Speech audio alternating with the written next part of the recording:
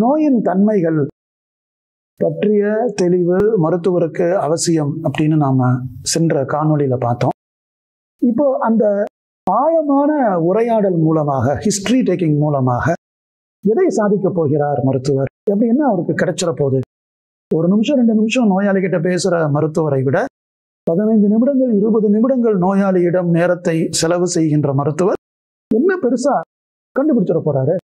இதை விட அவர் எந்த வகையில ஒரு தெளிவான மருத்துவத்தை நெருங்குகிறார் அப்படின்னு ஒரு கேள்வி வந்தா அதுக்கான விடயத்தை நாம இப்ப பார்ப்போம். சிம்டம் பேட்டர்ன் அப்படின்னு ஒன்று சொல்லுவாங்க ஆங்கிலத்துல. அதாவது ஒரு நோயாளி தன் உடம்பில் ஏற்படும் சில மாற்றங்களை அவரே உணர்ந்து மருத்துவர்கிட்ட சொல்றாரு இல்லையா? அதெல்லாம் சிம்டம்ஸ் சார் எனக்கு தலை வலிக்குது சார். சார் எனக்கு நெஞ்சு படபடன்னு அடிச்சுக்குது சார். சார் எனக்கு இந்த வயிறு பகுதியில் வலிக்குது சார். எனக்கு இந்த காலில் வந்து அதை எடுத்து வச்சு நடக்கிறப்போ கஷ்டமாக இருக்குது சார். இதெல்லாம் சிம்டம்ஸ் பேஷண்ட் டாக்டர்கிட்ட தன்னுடைய உடம்புல இருக்கிற பிரச்சனைகளை சொல்கிறது சிம்டம்ஸ் பேஷண்ட்டு சொல்லாத பல விஷயங்களை டாக்டர் அவருடைய அந்த இன்வெஸ்டிகேஷன் மூலமாக எக்ஸாமினேஷன் மூலமாக அதாவது நோயாளியை ஆழ்ந்து கவனித்து அவரை முழுமையாக பரிசோதனை செய்து மருத்துவர் புரிந்து கொள்வது சயின்ஸ் சில விஷயங்கள் நோயாளிக்கு தெரியாது.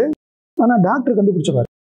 உதாரணமாக ஒரு நோயாளியுடைய இதயத்தில் ஒரு வேல்வில் அதாவது ஏதாவது அந்த நான்கு அறைகளுக்குள்ள இரத்தம் ஓடுது இல்லையா?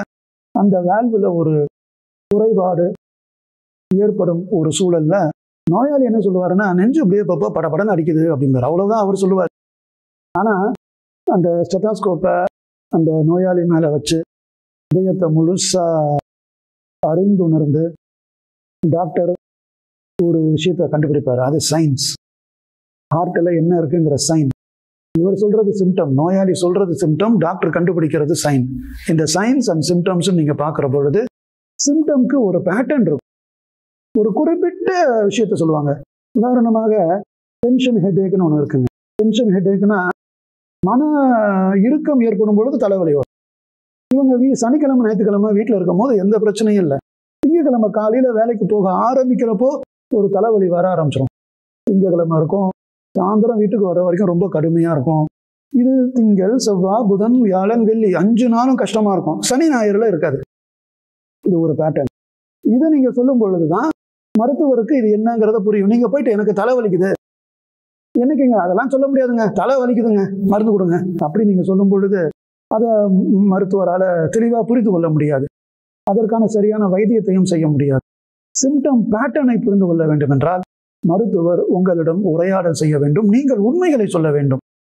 உங்களை பற்றிய முழுமையான உங்களுடைய வாழ்வியல் நிகழ்வுகளை பட்டியலிட்டு தெளிவாக மருத்துவரிடம் சொல்லும் பொழுது அந்த சிம்டம்ல ஒரு பேட்டர்ன் இருக்கா அப்படின்னு அவங்க பார்க்கறதுக்கு பயனுள்ளதாக இருக்கும்.